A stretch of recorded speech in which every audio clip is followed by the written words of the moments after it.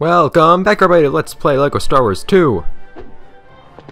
As always, we start off with these two. It's, it actually gets kind of old with how you start as these two every single time you start the game, but oh well. So, in the last episode, man, it feels like it's forever since I played this game. Mostly because I've been playing a lot of a certain something else. Man, I hate how we can't roll like Han does. Anyways, so now it's time we start, oh speaking of, now it's time we start episode 5 after having finished episode 4 last episode.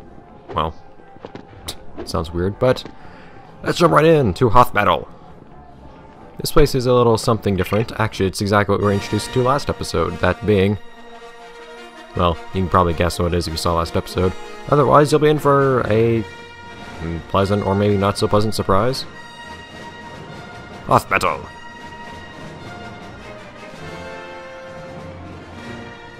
I am pondering whether I should start reading these intros. I probably could. Maybe I will start doing that next episode. Look at me starting to do during these loading screens if I don't have anything else to say. Obsessed!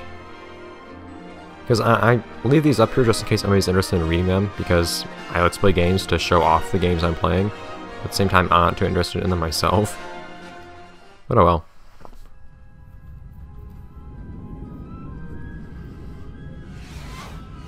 Still hate how this game is constantly loading things. I can tell because my PS2 is always freaking out, spinning the disc every which way. At least it's not like a CD where it just spins super fast and gets really hot.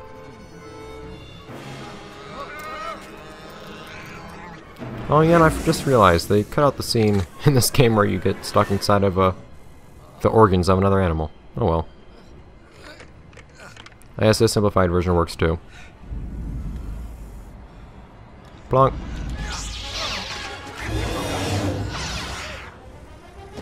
I think you really like losing arms in this game.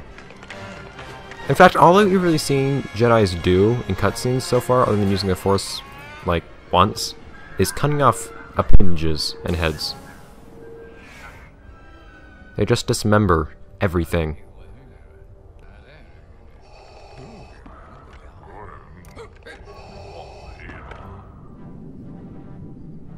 Still think it's really awkward how this game mixes in all these random things with sounds that are actually from the movies. Hello, Stachio. I remember... this is oddly enough one of the lengthiest cutscenes in the game, if I remember. It's at least longer than the one that first opened the game, which is kind of weird. I don't think we're usually in the mood for seeing through a really long cutscene in the middle of a game, but okay. At least it's the opening of an episode, too. There we go! Speak the devil. What? I forgot. You can press X. Whoa, what just happened? Stop it. You can press X to, uh, do a barrel roll for...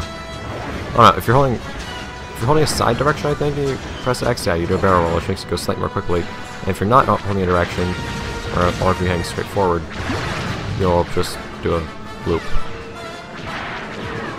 That. Which actually does have practical use. Anyways, how? Can I not just do my weird... I can, okay. So then, now I noticed earlier that we have this thing called Tether now. We can do this! And then certain enemies will try to grab it at the same time, because they're jerks. Stop it!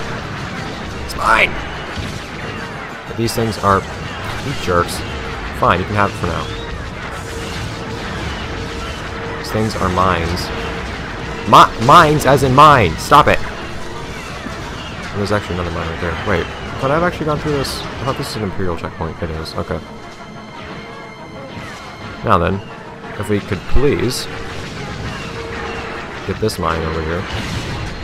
Cornering these things is annoying. Sometimes you just want to slow down to, for the sake of being able to move things. But of course, since they're bombs, if you hit anything too hard, they'll explode. So be careful with that, because you do need these for something else. Up ahead. Go that, and boom. Alright, so might as well that we can get. Oh! Things like that. Make it so cool. It's obviously might as well do what we can get studs, so you can actually pick up the uh, True Jedi first place on first run through. So, you notice there's a record appears on the ATSTs that means you can grab them. There's no practical application to grabbing them from what I can tell. Also, ATSTs have really slow lasers because they're just that inferior, I guess. They also decide to appear out of thin air. Stop it. Such breach of etiquette. Of physics. Etiquette of Physics sounds like a really nice name of an album. Anyways. Studs! The whole reason I, I'm never here. Anyways, looks like we've pretty much done everything we can over here, haven't we? Fortunately, you cannot actually attack the ground forces. That'd be really fun if you could. But, having done that, let's proceed! Just decided to blow a hole in something. Might as well make use of said hole. It's just random stuff to shoot and destroy, which seems kind of awkward with games. That's what you've been doing for the rest of the game anyways. Wanton Destruction is just kind of the name of the LEGO game. Also, AT also AT-ATs, these big four-footed things, are quite the special case. To destroy these, you will... Well, they can also shoot sideways. That's a special ability of theirs too, as you can see. But... Just kill nose from nose with him. These things, if you do grab them, you can do this. This is actually a really solid recreation of what they do in the movie, I think. I like it a lot. I actually have a lot of respect for this level just because it actually pretty effectively recreates something from the movie. In a way that's kind of fun, too. And then, you're not done your job just yet. You want to blow them up, and then you'll be good. Unfortunately, there's nothing to actually gain from destroying them. other than satisfaction of having just done something really cool for the movie, I guess, assuming you're into that kind of thing. But, oh, that's a heart. Need to live! Okay. Now, I like how these guys are on the ground trying to shoot at me, but do nothing. Come on, I know I need be somewhere. Whoa! Was that an Imperial thing to the left? Yeah, it was, alright. I've only seen so many of those in the uh, ship stages, but that's, I guess, just because there isn't really any special thing anywhere involving these things except for those. Oh yeah, I forgot about that, this one. So for some reason, a bomb normally just isn't good enough for this dumb wall, and we can't fly over because we're just vertically challenged. Meaning, things are going to appear out of thin air is what that means. Thanks. Go away! I think this game is quick. Alright. Oh, okay. Decide to just not deploy. Decide once again just to not deploy. Decide not to deploy. Dude! Don't recall ever having that issue. No, you jerk! That's a thing they can do! I've never actually failed so badly in this game as to actually have that happen. I don't see the purpose in it, but fine. Okay. Once more with less suck. Boom! And that somehow impresses the rocks well enough to just explode and grant you passage. If you get another bomb, that is. Yeah! Whoa, dear. Bomb's ahead of itself. Whoa. At least those studs just go straight to your stud count. It's kind of awkward, but awesome. But there are more things that's going to put that. Because minimizing work on the part of the player is always a good policy, I guess. Well, whatever. Not time to get into philosophical game debates. Also, if you do want to get uh, as many points as, as many studs as possible, I guess what you can also do is uh, do do do. You can also. Oh, come on. Oh, hi.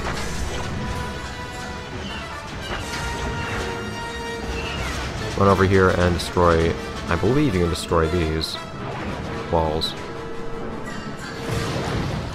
And they drop quite a bit of studs. I guess it would be a good idea for me to do that since I want True Jedi. They're kind of boring to watch, so it bugs me. It's kind of hard sometimes to balance actually like producing entertaining content and actually completing the whole game. Although I guess that kind of just says bad things about the game when actually doing everything the game has to offer is actually something that I don't want to show my viewers because that just means it's less enjoyable. And it's not really accomplishing its task of entertaining. I don't quite remember how much of the level is left either, or how many studs I'll be able to get from them, so... All the way. Up the hill, come on.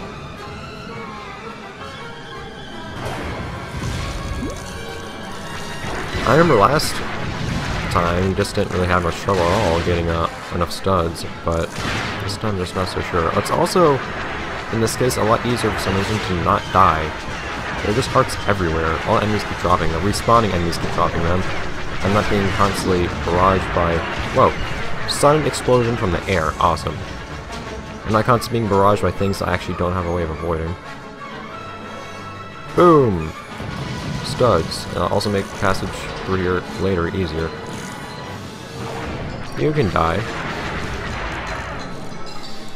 Hi, Etiquette! Cool. I don't think there's anything else down here to be found. Nope, just pain. In that case, we can bring pain to the wall. You bring the pain to us, we bring the pain to you. Okay. My microphone was slowly si sliding into oblivion. It should be bad for us all. Bad for me, because I'd have to get out of my chair, and bad for you guys, because your ears would be no longer.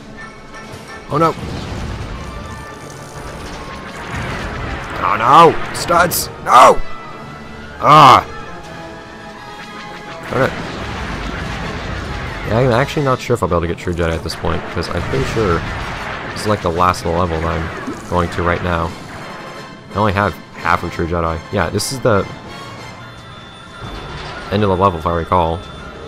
You just do stuff here until the level ends. Also, I recall getting an absurd amount of uh, mini-kits in this one area.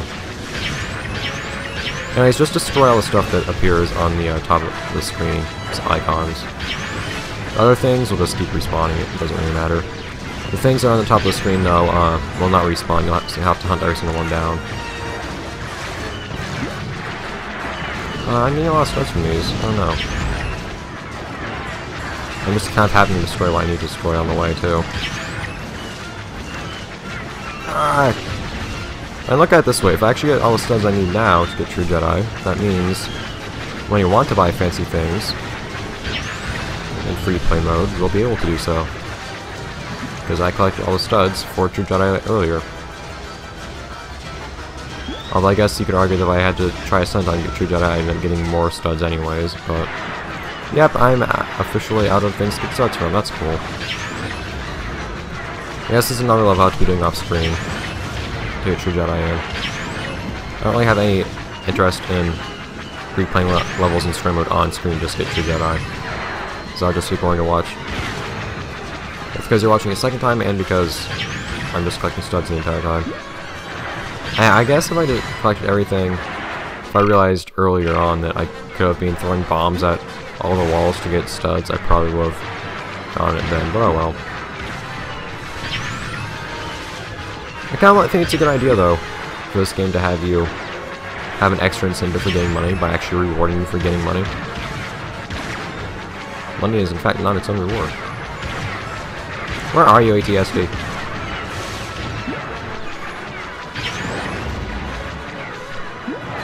Well... And now we have ATST. I mean, AT, uh... It was in fact this game, I believe, that taught me the distinction between the two things. I don't need that yet anyways. We have two AT... ATs to put up with. That first one's also annoying, because if you go after it too quickly, you'll end up, uh... Leave me alone, droid thing. Ah!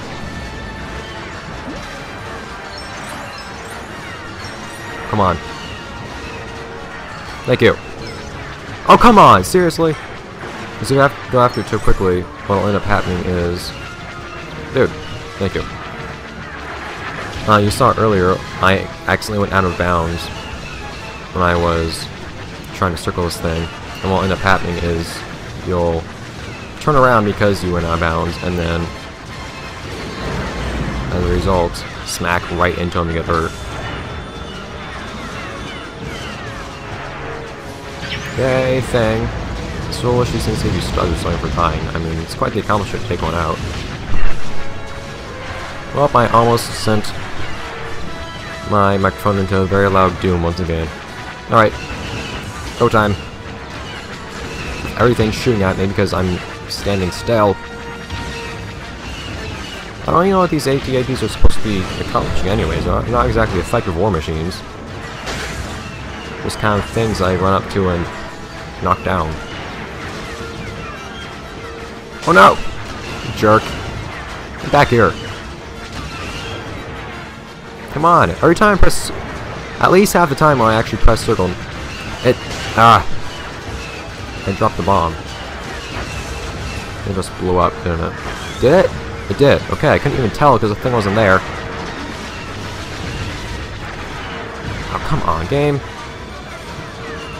If only your mechanics are actually convenient enough to function. Maybe this won't be a problem.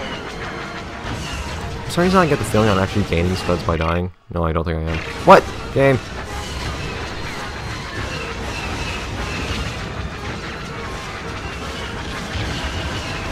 Is that enough? No, that is. Okay. Now, if you could actually allow me to pick things up as the game intended.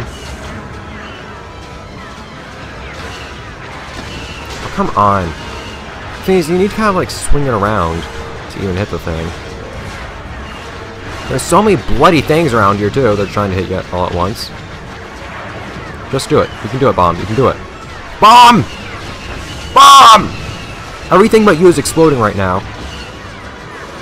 Why can't you just be like everyone else, Bomb? Why? See, I'm showing you exactly what to be doing. That's what you need to do on the enemy. Preferably without losing my funding. No. Everything would stop spawning endlessly.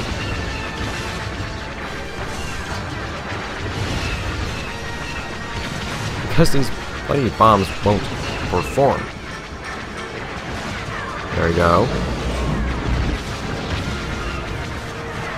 And I'm getting hurt by everything. Why? Bomb, you did what you needed to do, but you did it in the wrong place. Come on. Come on, why is that happening? It's so hard to see depth in here, too. This entire time I've also been using the wrong bomb. There! Ah! I'm not gonna get my studs back, am I? I hate this game's cutscenes so much sometimes. They always last just long enough for any studs to despawn. Thankfully now, though, once I take these things out, they won't be going after me anymore. Since nothing on that counter up top respawns. Since I take this last ATST out and that last little drone, whatever that thing is. Where are you?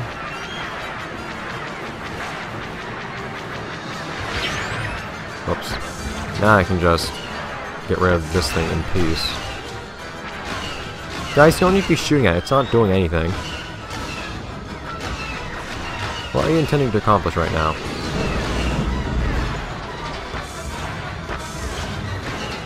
Boom! Thank you. Only I was that easy the first time. Well, that was quote-unquote fun.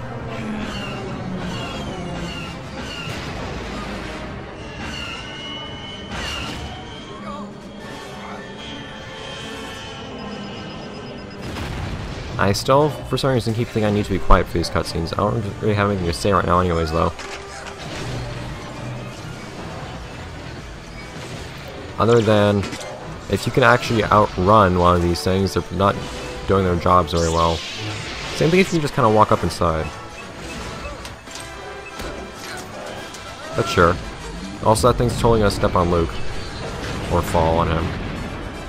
Now he teleported away. He burrowed! He is indeed half mole. Quite ironic for someone with the name Skywalker, actually. He walks the sky beneath earth. Yeah, yeah, rub it in, rub it in game. Lots of mini kits. Well complete, and that is it. Mm. Anyways, so, having that done, eh, I'll see you guys next time next episode of Let's Play LEGO Star Wars 2. with what will in fact be a normal level, finally. No more ships, uh, at least for the time being. Do we ever have another ship level? We have at least one more ship level. At least two more ship levels, I think. Or at least one, I don't recall. But, I'll see you guys next time next episode of Let's Play LEGO Star Wars 2 as normal human beings. As normal as LEGO human beings are, at least. Bye, guys!